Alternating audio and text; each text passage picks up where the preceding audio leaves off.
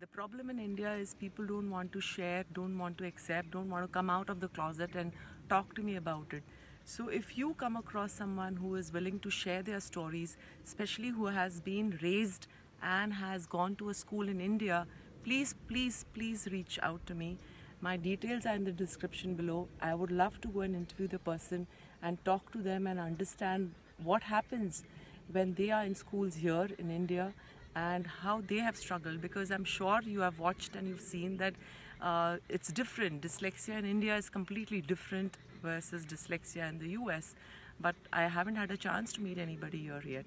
But I'm still looking, so please help me find someone and let's help each other. Thank you.